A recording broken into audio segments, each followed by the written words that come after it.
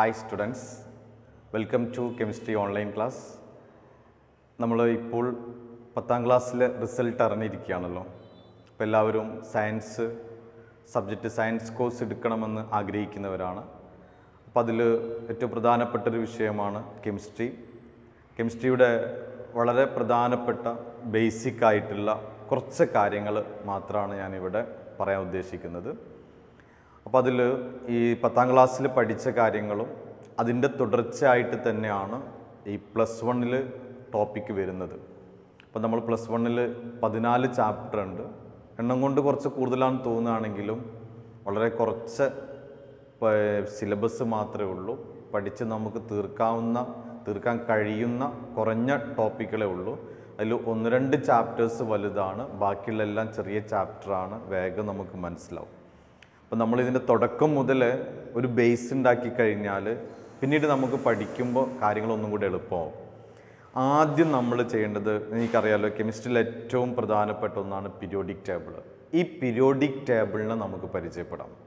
അപ്പോൾ അതിൽ നമ്മൾ ഈ കെമിസ്ട്രീന്റെ ചാപ്റ്റർ തുടങ്ങിക്കഴിഞ്ഞാൽ കൂടുതൽ സമയങ്ങളിൽ കൂടുതൽ സ്ഥലത്ത് ഉപയോഗിക്കുന്ന കുറച്ച് എലമെന്റ്സ് ആ എലമെൻസിന്റെ സിമ്പിൾ അതിന്റെ ഇലക്ട്രോണിക് കോൺഫിഗറേഷൻ നമുക്ക് എങ്ങനെ എഴുതാം? ഇലക്ട്രോൺ വിന്യാസം നമുക്ക് എങ്ങനെ എഴുതാം? ഈ കാര്യങ്ങളാണ് ആദ്യത്തിൽ ഞാൻ പറയുന്നത്. അപ്പോൾ കാര്യങ്ങളെല്ലാം നിങ്ങൾ ഒന്ന് മനസ്സിലാക്കാൻ വേണ്ടി ശ്രമിക്കുക. നോക്കൂ ശ്രദ്ധിച്ചു നോക്കി പീരിയോഡിക് ടേബിൾ വളരെ സിമ്പിളായിട്ട് നമുക്ക് എങ്ങനെ പറയാൻ പറ്റുന്നുള്ളൂ നോക്കൂ പിരിയോഡിക് ടേബിൾ നമ്മൾ ഒന്ന് വരച്ച് കാണിക്കുകയാണെങ്കിൽ ഇതാ ഈ രൂപത്തിൽ വരും. ഇതാ ഇങ്ങനെ വന്നു. ഈ ഇങ്ങനെയാണ് നമ്മൾ മോഡേൺ പിരിയോഡിക് ടേബിൾ നമ്മൾ കാണാറുള്ളത്. കണ്ടോ? ഇവിടെ എസ് ബ്ലോക്ക് എലമെന്റ്സ് ഉണ്ടാവും ഇവിടെ ഡി ബ്ലോക്ക് എലമെന്റ്സ് ഉണ്ടാവും ഇവിടെ പി ബ്ലോക്ക് ഉണ്ടാവും.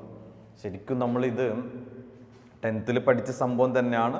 അതിന്റെ ബാക്കിയായിട്ട് നേരത്തെ പറഞ്ഞല്ലോ അതിന്റെ ബാക്കിയായിട്ടാണ് പ്ലസ് വണ്ണിൽ ക്ലാസ് വരുന്നത്.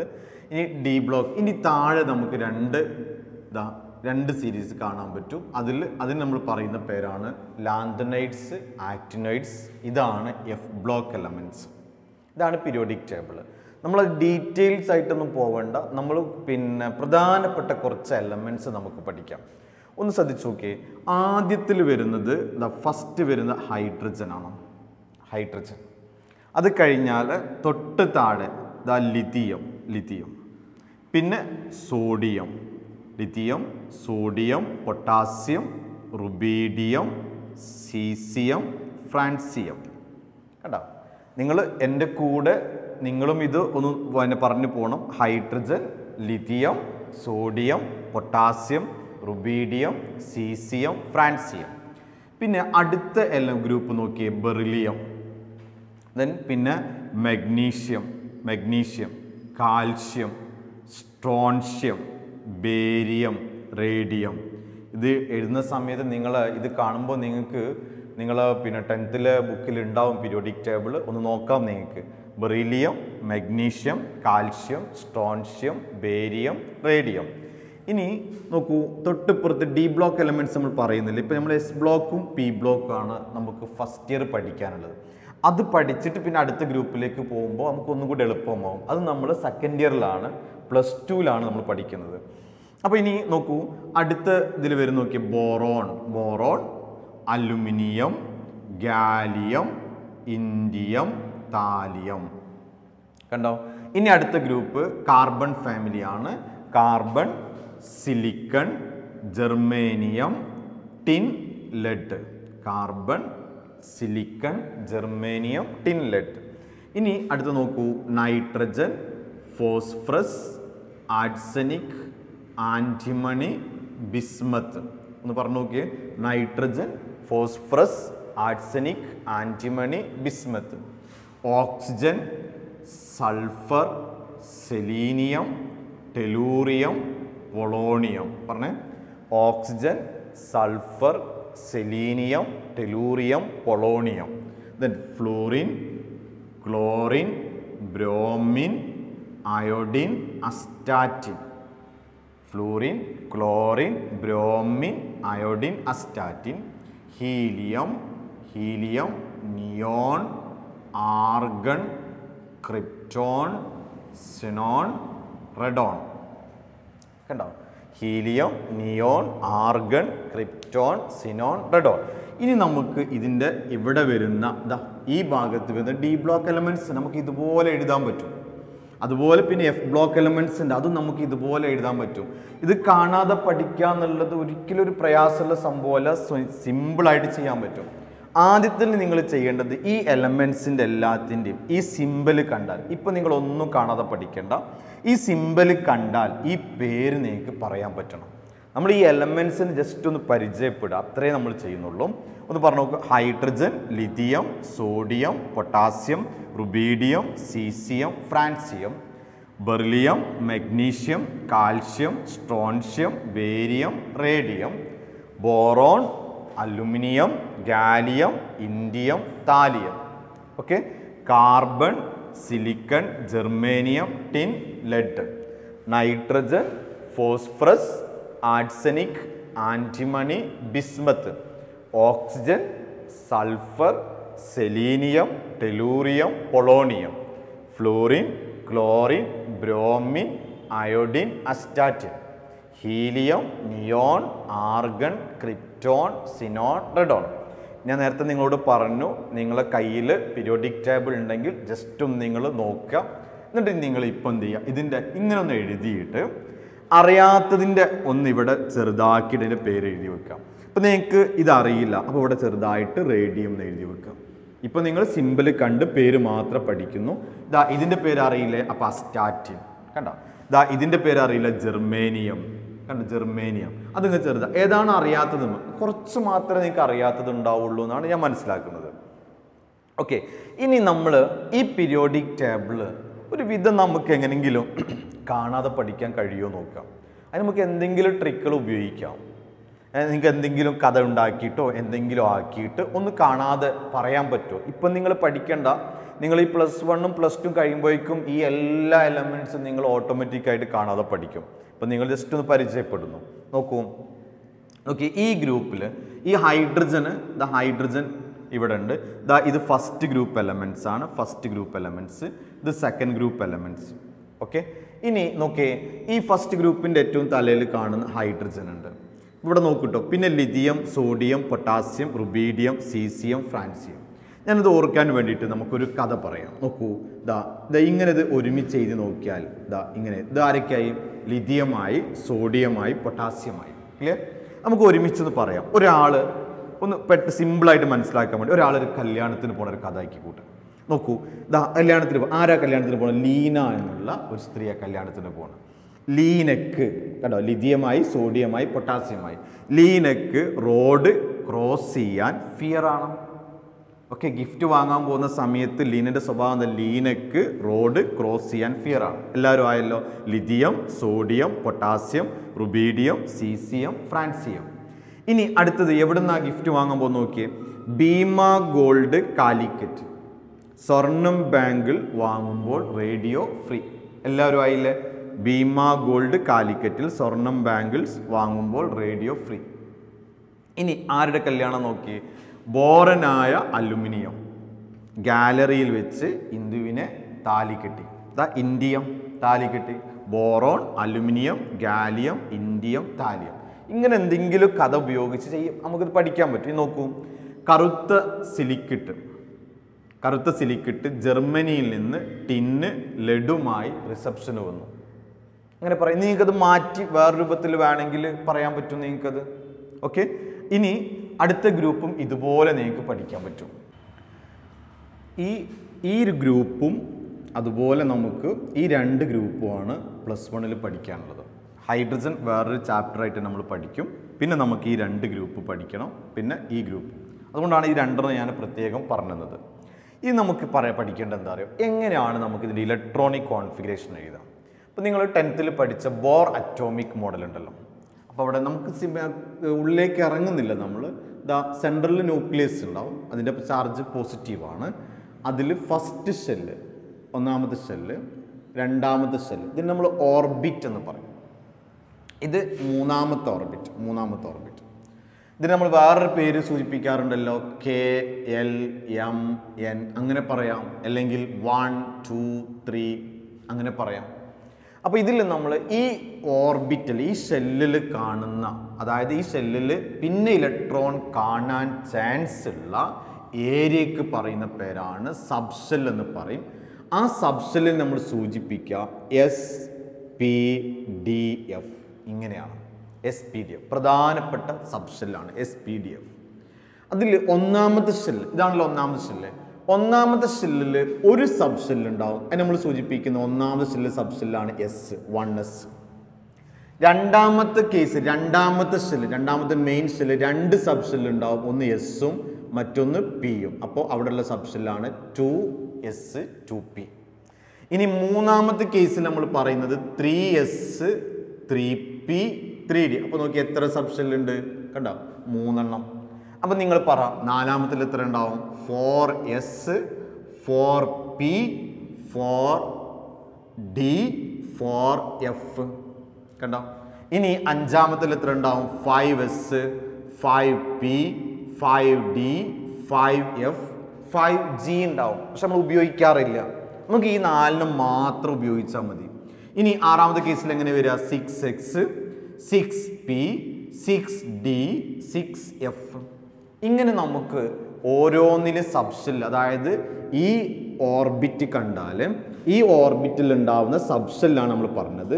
ഈ സബ്ഷെല്ലിൽ ഇതാ പ്രധാനമായി നമുക്ക് പഠിക്കാനുള്ളത് എസ് പി ഡി എഫ് അപ്പം നമ്മൾ ബോർ അറ്റോമിക് മോഡൽ ടെൻത്ത് നിന്ന് പഠിച്ചു. ആ ബോർ ഇതൊക്കെ നമുക്ക് ടെൻത്ത് നിന്ന് ഇതിന്റെ ബേസിക് കാര്യങ്ങളെല്ലാം പറയുന്നുണ്ട്. അതിൽ മെയിൻ ഷെല്ലുണ്ട് ആ മെയിൻ ഷെല്ലിൽ ഇലക്ട്രോണെ കാണാൻ ചാൻസ് ഉള്ള റീജിയനെ പറയുന്ന പേരാണ് എസ് പി ഡി എഫ് ഇപ്പോൾ നോക്കൂ ഈ ഒരു ഏരിയയിൽ ഇലക്ട്രോൺസ് ഇങ്ങനെ ന്യൂക്ലിയസ് ചുറ്റി കറങ്ങിക്കൊണ്ടിരിക്കില്ലേ? ഇത് നോക്കി ഈ എസ് ഇതൊരു സംഭവം ക്ലിയർ ആവാൻ വേണ്ടി നിങ്ങൾ ഒരു കാര്യം ആലോചിച്ച് നോക്കി നമ്മൾ ഒരു പിന്നെ സ്കൂളിലെ ഗ്രൗണ്ടിൽ കളിച്ചുകൊണ്ടിരിക്കുന്നത് സ്കൂൾ വലിയൊരു ഗ്രൗണ്ട് ഉണ്ട്. ആ ഗ്രൗണ്ടിൽ കുട്ടികളെ പി ടിക്ക് വിട്ടാൽ കുട്ടികൾ നിൽക്കുന്ന ഒരു ഏരിയ ഉണ്ട്. ചിലപ്പോൾ ഒരു മരത്തിന്റെ ചുവട്ടിലായിരിക്കും കുട്ടികൾ നിൽക്കുന്ന ഏരിയ ആ ഒരു അപ്പോൾ കുട്ടികളെ കാണാൻ ചാൻസ് ഇല്ല. ആ പി ടിക്ക് വിട്ട് കഴിഞ്ഞാൽ ആ സ്റ്റുഡൻസിനെ കുട്ടികളെ കാണാൻ ചാൻസ് ഉള്ള റീജിയൻ അതാണ്. ഇതുപോലെ ഇവിടെ നമ്മൾ ഇലക്ട്രോൺസിന് വിട്ട് കഴിഞ്ഞാൽ ഈ ഇലക്ട്രോണെ കാണാൻ ചാൻസ് ഉള്ള ഒരു റീജിയൻ ഉണ്ട്. ഒരു ഏരിയ ഉണ്ട്. ഇപ്പോൾ നോക്കി ഇലക്ട്രോൺ ഇവിടെ ഇലക്ട്രോണെ കാണാൻ ചാൻസ് ഉള്ള ഒരു ഏരിയ ഇതാ ഇങ്ങനെ ഏരിയ ആണ്. കണ്ടോ? ഇതുപോലൊരു ഏരിയ ആണ്. ഒരു ഒരു സ്ഫിയർ അങ്ങനെയാണെങ്കിൽ ഇതാ ഇതിന് നമ്മൾ പറയുന്ന പേരാണ് ഓർബിറ്റൽ എന്ന് പറയുന്നത്. ഓർബിറ്റൽ. ഓക്കെ? ആ ഓർബിറ്റലാണ് എസ് പി ഡി എഫ് അല്ലെങ്കിൽ നമ്മൾ പറയും സബ്ഷെൽ എന്ന് പറയും. ഇനി നമുക്ക് ഇതിൽ ഇലക്ട്രോണെ എങ്ങനെ അറേഞ്ച് ചെയ്യും എന്നുള്ളതാണ്. ഇലക്ട്രോൺ എങ്ങനെ അറേഞ്ച് ചെയ്യും ശ്രദ്ധിച്ചു നോക്കി നമ്മളിപ്പോൾ നിങ്ങൾ ടെൻത്തിൽ പഠിച്ചിട്ടുള്ള ഇലക്ട്രോൺ വിന്യാസം നമ്മൾ സാധാരണ ഒരു ഇപ്പോൾ ഒരു ആറ്റത്തിന്റെ ഒരു ആറ്റം ഇപ്പോൾ ഹൈഡ്രജൻ എന്നുള്ളൊരു ആറ്റം എടുത്തു. നമ്മൾ ഹൈഡ്രജൻ അതിന് അറ്റോമിക് നമ്പർ വൺ ആണ്. അവിടെ ഒരു ഇലക്ട്രോൺ ഉള്ളുവെങ്കിൽ നമ്മൾ അതിനെ സൂചിപ്പിക്കും നോക്കിട്ടോ. ഒരു ഇലക്ട്രോൺ ഉള്ളുവെങ്കിൽ നമ്മളവിടെ ഇലക്ട്രോണിക് കോൺഫിഗറേഷൻ വൺ ഇപ്പോൾ നോക്കി സോഡിയം സോഡിയത്തിന്റെ അറ്റോമിക് നമ്പർ പതിനൊന്നാണ്. നമ്മൾ കോൺഫിഗറേഷൻ എഴുതുമ്പോൾ എങ്ങനെ വരിക ടു എയ്റ്റ് വൺ ഇതുപോലെ എഴുതി. ഇതേ രൂപത്തിൽ ഇലക്ട്രോൺ വിന്യാസ് ഇലക്ട്രോണിക് കോൺഫിഗറേഷൻ നമ്മൾ സബ്ഷെൽ ഉപയോഗിച്ചിട്ട് ചെയ്യുന്നു. അപ്പോൾ നമ്മളവിടെ ചെയ്യേണ്ടത് എന്താ അറിയോ? ഒരു ആറ്റ് ഇപ്പോൾ ഹൈഡ്രജൻ ഉള്ളത് ഹൈഡ്രജനിൽ ഒരു ഇലക്ട്രോണേ ഉള്ളൂ. ആ ഒരു ഇലക്ട്രോൺ നമ്മൾ കോൺഫിഗറേഷൻ എഴുതുമ്പോൾ എച്ച് ഹൈഡ്രജൻ നോക്കിയേ അതിന്റെ കോൺഫിഗറേഷൻ എഴുതുമ്പോൾ വൺ എസ് വൺ ക്ലിയർ ആ one s one one s one okay ഇനി തൊട്ട് വരുന്ന അടുത്ത് വരുന്ന ഹീലിയം ഹീലിയം അതിന് അറ്റോമിക് നമ്പർ ടു ആണ്. രണ്ട് ഇലക്ട്രോൺ ഉണ്ട്. അപ്പോൾ one s two one s two okay ഇനി തൊട്ടടുത്ത് വരുന്ന ലിഥിയം ലിഥിയം ലിഥിയം ലിഥിയത്തിൽ അറ്റോമിക് നമ്പർ ത്രീ ആണ്. ഇത് വണ്ണ് ഇത് ടു ഇത് ത്രീ ത്രീ ആകുമ്പോൾ നോക്കിയ വൺ എസ് രണ്ട് ഇലക്ട്രോൺ കൊടുത്തു. ആദ്യം നമ്മൾ ആ വൺ എസ്സിൽ ഫില്ല് ചെയ്തു. പിന്നെ അത് കഴിഞ്ഞ് ടു എസ് ടു എസ്സിൽ എത്ര ഇലക്ട്രോൺ ബാക്കിയുണ്ട്? ഒരു electron one okay one s two two s one അപ്പം നമ്മൾ എന്താ ടു പിയിൽ കൊടുക്കാതിരുന്നത്? അപ്പം അത് നമ്മൾ എവിടെ കൊടുക്കണം? ഇതിന്റെ കൂടുതൽ ഡീറ്റെയിൽസ് നമുക്ക് പ്ലസ് വണ്ണിൽ പഠിക്കാം. ഇപ്പം ജസ്റ്റ് എങ്ങനെ എഴുതുന്ന മാത്രം പഠിക്കും നമ്മൾ അത് കണ്ടുപിടിക്കാനുള്ള മെത്തേഡ് നോക്കി ഇതാ ഇങ്ങനെ വരയ്ക്കുക നമ്മളിതാ. ഇങ്ങനെ എഴുതിയിട്ട് ഇതുപോലെ വരച്ച് വെക്കുക. കണ്ടോ? ഇതാ ഇങ്ങനെ വരയ്ക്കുക. ഓക്കെ ഇങ്ങനെ വരച്ച് കഴിഞ്ഞാൽ ഇതാ. ഇതിന്ന് മനസ്സിലാവും നോക്കിയാൽ വൺ എസ് കഴിഞ്ഞാൽ പിന്നെ ഫില്ല് ചെയ്യേണ്ടത് ടു എസ് ആണ്. ടു എസ് കഴിഞ്ഞാൽ പിന്നെ ഫില്ല് ചെയ്യേണ്ടത് ടു പി ആണ്. ടു പി കഴിഞ്ഞാൽ ത്രീ എസ് ഇങ്ങനെ ഓർഡറിലാണ് വരുന്നത്. എന്തുകൊണ്ടാണ് അങ്ങനെ വന്നതെന്നുള്ള കാര്യങ്ങളൊക്കെ നമ്മൾ ഡീറ്റെയിൽസ് ആയിട്ട് പഠിക്കുന്നുണ്ട്. അപ്പോൾ ഇപ്പം നമ്മൾ എങ്ങനെ ഇലക്ട്രോൺ വിന്യാസം ചെയ്യുന്നത് ഇപ്പോൾ നോക്കൂട്ടോ. ഇനി തൊട്ടടുത്ത് വരുന്നത് വേറൊന്ന് പറയാം. നമ്മൾ നേരത്തെ എഴുതിയ സോഡിയം എഴുതുന്നത് സോഡിയം സോഡിയത്തിന് അറ്റോമിക് നമ്പർ പതിനൊന്നാണ്. അപ്പോൾ പതിനൊന്ന് ഇലക്ട്രോൺ ഉണ്ടാവും. അപ്പോൾ ആദ്യം വൺ എസിൽ രണ്ട് one s two okay then പിന്നെ ഇപ്പോൾ എത്ര പതിനൊന്നല്ലുള്ളത് ഇനി ബാക്കി ഒമ്പതിനുണ്ട്. പിന്നെ വൺ എസ് കഴിഞ്ഞാൽ പിന്നെ ടു എസ് ടു എസിൽ രണ്ട് two s two two s two കഴിഞ്ഞ് പിന്നെ ഇപ്പം നാലിനും കൊടുത്തു. ഇനി ബാക്കിയുള്ളത് ടു പി ടു പിയിൽ അല്ലെ വൺ എസ് കഴിഞ്ഞ് ടു എസ് കഴിഞ്ഞ് ടു പിയിലാണ് ഫില്ല് ചെയ്യേണ്ടത് ടു പിയിൽ ആറ്. ഓക്കെ അപ്പം നിങ്ങൾ നോക്കി. ഇവിടെ എസ്സിൽ നമ്മൾ രണ്ടാണ് കൊടുത്ത് പിയിൽ ആറാണ് കൊടുത്തത്. ഒന്ന് ശ്രദ്ധിച്ചു നോക്കിയേ. നമ്മൾ സബ്സ്റ്റലിൽ പറഞ്ഞത് എസ് പി ഡി എഫ് ഇങ്ങനെയല്ലേ വരുന്നത്? ഈ സബ്സ്റ്റലിൽ രണ്ട് ഇലക്ട്രോണാണ് മാക്സിമം നമ്മൾ കൊടുക്കുക. രണ്ട് ഇലക്ട്രോൺ മാക്സിമം അപ്പോൾ ഈ പിയിൽ എത്ര ഇലക്ട്രോൺ അറിയോ? ആറ് ഇലക്ട്രോൺ നിങ്ങൾക്ക് സിമ്പിളായിട്ട് കണ്ടുപിടിക്കാം. ഈ രണ്ടിന്റെ കൂടെ നാല് കൂട്ടിയാൽ എത്രയായി? സിക്സ് ആയില്ലേ? ഇനി നോക്കൂ. അപ്പം ഇനി ഡിയിൽ എത്ര ഉണ്ടാവുക? സിക്സിന്റെ കൂടെ ഫോർ ആഡ് ചെയ്യും. സിക്സിന്റെ കൂടെ ഫോർ ആഡ് ചെയ്താൽ ടെൻ ഓക്കെ ഇനി ആ ടെന്നിന്റെ കൂടെ വീണ്ടും ഫോർ ആഡ് ചെയ്യാം. ഫോർട്ടീൻ ഇങ്ങനെയാണ് പറയാം. അപ്പോൾ ടു സിക്സ് ടെൻ ഫോർട്ടീൻ ഇതുപോലെ വരും. ഓക്കെ അപ്പോൾ ഇനി നമ്മൾ നോക്കൂ. One s two two s two two p six then two p six കഴിഞ്ഞു. ഇനി അടുത്തത് ആരെ വരിക? ടു പി കഴിഞ്ഞാൽ three s three s one clear ആണല്ലോ? ഇത് നോക്കൂട്ടോ. Scandium scandium atomic number twenty one atomic number twenty one ഇനി നോക്കി എഴുതി നോക്കിയേ. One s two one s two clear one s two then 2s2 2s2 2p6 then 3s2 3p6 okay three p six എത്ര ആയി നോക്കിയേ? The പത്ത് പതിനെട്ട്. ഇനി ത്രീ പി കഴിഞ്ഞാൽ എവിടെ നമ്മൾ ഫില്ല് ചെയ്യാൻ നോക്കിയേ? ത്രീ പി കഴിഞ്ഞാൽ ഫോറസ്റ്റിലാണ് ഫില്ല് ചെയ്യേണ്ടത്. ഫോറസ്റ്റിൽ രണ്ട് ഫോറസ്റ്റ് ടു ഓക്കെ ഇപ്പം ഇരുപതായി. ഇനി ഒന്നും കൂടെ ബാക്കിയുണ്ട്. അത് നമ്മൾ ഫില്ല് ചെയ്യുന്നത് ത്രീ ഡി വൺ ഈ ഓർഡർ കണ്ടുപിടിക്കാൻ എളുപ്പമാണ് നമ്മൾ ഇങ്ങനെ ചെയ്തിരിക്കുന്നത്. ഒരു സബ്ഷനിൽ എത്ര മാക്സിമം എത്ര ഇലക്ട്രോൺ കണ്ടുപിടിക്കും അപ്പോൾ എസ് ഇതിങ്ങനെ താഴോട്ട് എഴുതി. എസ്സിൽ രണ്ടാം നമുക്കറിയാം. പിന്നെ എന്റെ കൂടെ ഒക്കെ നാല് കൂട്ടിക്കഴിഞ്ഞാൽ അടുത്തത് കിട്ടും നമുക്ക്. അപ്പോൾ നമുക്ക് electronic കോൺഫിഗറേഷന് one s two two s two two p six three s two three p six four s two three d one ഇതുപോലെ നമുക്ക് ഇലക്ട്രോണിക് വിന്യാസം എഴുതാം. നിങ്ങൾ കുറച്ച് എക്സാമ്പിൾ ചെയ്ത് നോക്കാം. പീരിയോഡിക് ടേബിൾ നോക്കി കഴിഞ്ഞിട്ട് കുറച്ച് എക്സാമ്പിൾ ഞാൻ ഇവിടെ എഴുതുന്നു നോക്കി. ബോറോണിന്റെ കേസിൽ കണ്ടുപിടിക്കണം. Boron carbon fluorine. ഇവരുടെ കേസിൽ ഇലക്ട്രോൺ വിന്യാസം കണ്ടുപിടിക്കാം. ബോറോണ്ട് അറ്റോമിക് നമ്പർ എത്രയാണ് five carbon six fluorine nine okay ഇതിന്റെ ഇലക്ട്രോണിക് കോൺഫിഗറേഷൻ നിങ്ങൾ എഴുതി നോക്കൂ. എന്തെങ്കിലും സംശയങ്ങളുണ്ടെങ്കിൽ ചോദിക്കാം. ക്ലിയർ ആണല്ലോ പറഞ്ഞത്? ഓക്കെ ഇനി നമ്മൾ വേറൊരു കാര്യം പഠിക്കണം ഈ എസ് ഇല്ലേ എസ് ഇപ്പോൾ ഹൈഡ്രജൻ അല്ല നമ്മൾ? ഹൈഡ്രജന്റെ കോൺഫിഗറേഷൻ നമ്മൾ എഴുതില്ല one s the one s one നമ്മൾ ഈ സബ്ഷലിന് ഒരു ബോക്സ് ഉപയോഗിച്ച് റെപ്രസെന്റ് ചെയ്ത് കഴിഞ്ഞാൽ ദാ ഇങ്ങനെ ഇത് വൺ എസ് ആണ്. ഓക്കെ അവിടെ ഒരു ഇലക്ട്രോൺ ക്ലിയർ ഒരു ഇലക്ട്രോൺ ഇനി നോക്കൂ. ഇനി നൈട്രജന്റെ കേസിൽ nitrogen atomic number nitrogen atomic number എത്രയാണ് വരുന്നത് അറിയാം? സെവൻ അപ്പോൾ one s two one s two clear two s two എത്രയായി മക്കളെ? Two s two one s two two s two നാല് ഇലക്ട്രോൺ ഇനി മൂന്നെണ്ണം കൂടെ. ടു എസ് കഴിഞ്ഞ് പിന്നെ അവിടെ ടു പി കണ്ട? ടു പി ത്രീ ഇങ്ങനെ വരും. ഈ വൺ എസിൽ രണ്ട് ഇലക്ട്രോൺ നോക്കൂ വൺ എസ് രണ്ട് ഇലക്ട്രോൺ ഇതാ ഇങ്ങനെ കാണിച്ചു വൺ എസ് ഓക്കെ അടുത്തത് ടു എസ് ടു എസ്സിൽ ഇതാ ടു എസ് രണ്ട് ഇലക്ട്രോൺ ഓക്കെ അടുത്ത് ടു പി അവിടെയാണ് നമ്മൾ ശ്രദ്ധിക്കേണ്ടത് ടു പി എത്ര ബോക്സ് ഉണ്ടാവും അറിയാം? ടു പിയിൽ ഇതാ ഇതുപോലെ മൂന്ന് ബോക്സ് ഉണ്ടാവും. മൂന്ന് ബോക്സ് ആ മൂന്ന് ബോക്സിൽ ഒന്ന് ഇതാ ഒരു ഇലക്ട്രോൺ ഇവിടെ ഒരു ആദ്യം എല്ലാവർക്കും ഓരോന്ന് കൊടുക്കുക അതല്ല എന്റെ ശരി? ഓരോന്ന് കൊടുക്കാം. ഇനി അടുത്ത ഇലക്ട്രോൺ വരികയാണെങ്കിൽ അത് ഇവിടെ കൊടുക്കുക ഇങ്ങനെ ഇങ്ങനെ കൊടുത്തു പോവാം. മാക്സിമം ആറെണ്ണം. അപ്പം ഞാൻ ചോദിക്കട്ടെ പിയിൽ നമ്മൾ എസ്സിൽ ഒരു ബോക്സ് ആക്കി കാണിച്ചു. ദാ പിയിൽ എത്ര ബോക്സ് കാണിച്ചു? മൂന്നെണ്ണം. അപ്പം ഡിയിൽ എത്ര ബോക്സ് ഉണ്ടാവും? നിങ്ങൾ പറ. ഡിയിൽ എത്ര ബോക്സ് ഉണ്ടാവും? അഞ്ച് ബോക്സ് ഉണ്ടാവും. ശരിയല്ലേ? ഒരു ബോക്സിൽ മാക്സിമം എത്രനെ പറ്റൂ? രണ്ടെണ്ണം. അപ്പോൾ എഫിൽ എത്ര ബോക്സ് ഉണ്ടാവും? ദാ എഫിൽ എഫിൽ എത്ര ഉണ്ടാവും? എഫിൽ ഇതുപോലെ ഏഴെണ്ണം ഉണ്ടാവും. One two three four five six seven ഏഴെണ്ണം. ക്ലിയർ ഓക്കെ ഇനി ഇതൊക്കെ എന്തുകൊണ്ടാണ് എങ്ങനെ എങ്ങനെ വരുന്ന കാര്യങ്ങളൊക്കെ നമുക്ക് ഡീറ്റെയിൽസ് പഠിക്കാം. ഇപ്പൊ ജസ്റ്റ് ഒന്നൊരു ഐഡിയ ഉണ്ടാക്കാൻ വേണ്ടി മാത്രം പറഞ്ഞു. ഇത്രയും കാര്യം ഞാൻ എന്തിനാ? ഇപ്പൊ നോക്കൂ. ഇങ്ങനെ കാണിച്ചില്ല നമ്മൾ one s two two s two two p three ക്രോമിയത്തിന്റെ configuration എഴുതി നോക്കാം നമുക്ക്. ക്രോമിയത്തിന്റെ അറ്റോമിക് നമ്പർ ട്വന്റി ഫോർ ആണ്. Okay one s two one s two two s two two s two two p six ready then three s two three s two three p six then four s two four s two ready ഇപ്പം എത്രയായി നോക്കി? രണ്ട് പത്ത്. Okay then three D ഇനി വരും three D four ഇങ്ങനെ വരും three D four അപ്പം നമ്മൾ ഈ ത്രീ ഡി ഇല്ലേ ത്രീ ഡിയെ നമ്മൾ ബോക്സ് ഉപയോഗിച്ച് കാണിക്കുന്നു. ദാ ഇതുപോലെ ബോക്സ് അഞ്ചെണ്ണം വേണം. അഞ്ച് ബോക്സ് അഞ്ച് ബോക്സ് ആദ്യം നമ്മൾ ദ ത്രീ ഡിയിൽ നാല് ഇലക്ട്രോൺ നാലിനും കൊടുത്തു. ഓക്കെ? ഇപ്പം നാലെണ്ണത്തിൽ ആ ഫിൽഡായിട്ട് ഓരോ ഇലക്ട്രോൺ വീതം ഫിൽ ചെയ്തിട്ടുണ്ട്. അപ്പോൾ ശരിക്കും ഒരു ഇലക്ട്രോണും കൂടെ അവിടെ വരികയാണെങ്കിൽ അഞ്ചും ഒരേ രൂപത്തിലാണ് അപ്പോൾ അവർക്ക് സ്റ്റെബിലിറ്റി കൂടും.